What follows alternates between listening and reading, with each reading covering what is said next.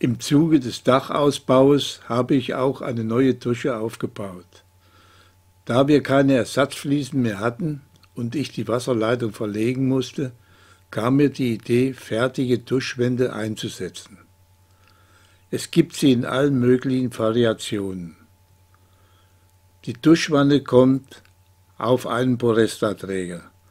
Habe ihn nochmal verstärkt, indem ich die Hohlräume nochmal mit Boresta aufgefüllt habe.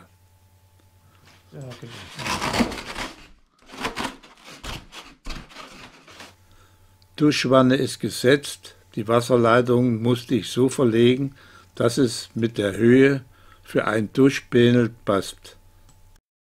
Die erste Duschwand ist gesetzt.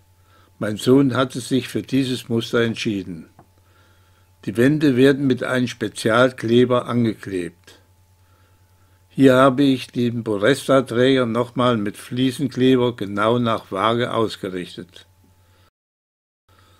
Nun werden die Seitenwände von der Duschkabine montiert.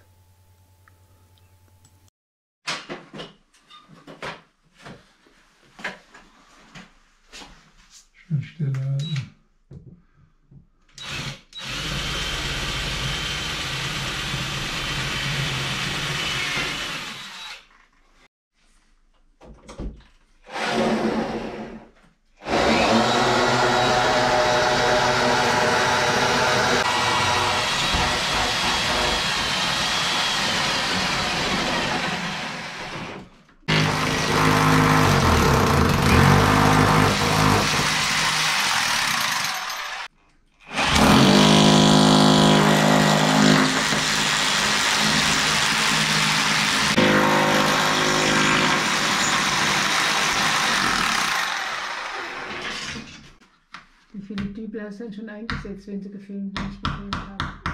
Okay.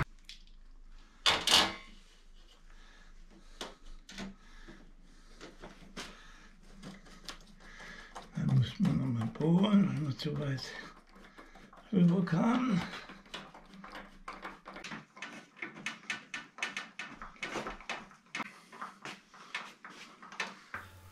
Die Dusche ist soweit fertig müssen nur noch ein paar Fliesen an dem Sockel gelegt werden. Das Duschpedel ist auch montiert mit Regendusche und verschiedenen Düsen. Das Video ist für eine kleine Anregung gedacht, falls jemand mal eine neue Dusche machen will und vielleicht das gleiche Problem hat und die Leitung neu verlegen muss.